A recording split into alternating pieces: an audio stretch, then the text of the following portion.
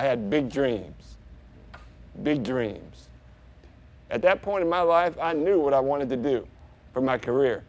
I wanted to be the play by play radio voice for an NFL team. Or I wanted to be on the network. I wanted to be like Mike Tirico, working next to Jon Gruden. All right? I'm going to tell you how that dream evolved.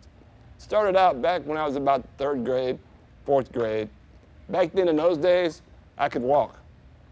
I could run a little bit. And boy, with my left hand, I could throw a perfect spiral, far and accurate. So at recess, because I couldn't run fast and because I had a good arm, I was always a quarterback. And I threw a lot of touchdowns. But I remember one time, I dropped back and I threw a pass, and the receiver went left. I wanted him to go right, picked off. So I ran over to try to make the tackle, and I hit the guy good. I mean, I didn't miss.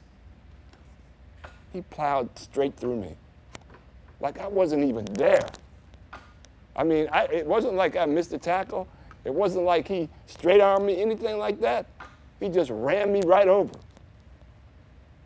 And that's when I started to realize what having muscular dystrophy meant.